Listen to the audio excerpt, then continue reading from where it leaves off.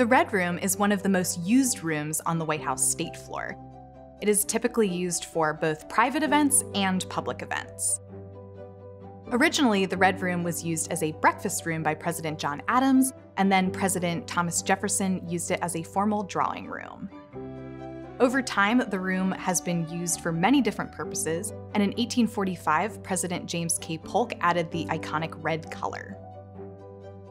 President Abraham Lincoln liked to use this room as a sitting room at night where he would read papers from around the nation covering the Civil War, and then it has also been used as a entertainment space.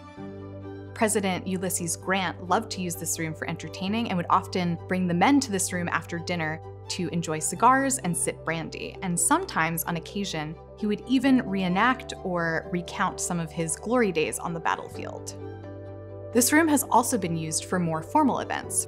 First Lady Eleanor Roosevelt used this room to host her women's only press conferences, and on March 3, 1877, President Rutherford B. Hayes was secretly sworn in in the Red Room following the contested election of 1876.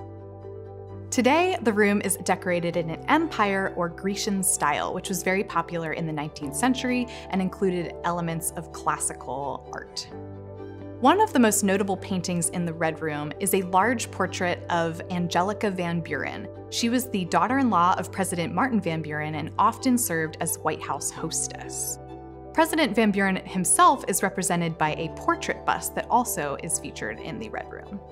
As you enter the Red Room, you will notice a beautiful portrait of First Lady Dolley Madison by Gilbert Stuart. Dolley Madison was well known for her entertaining and hostess duties as First Lady. She also hosted regular Wednesday night receptions at the White House. Other paintings in this room include natural landscape paintings, which depict a number of locations throughout the United States.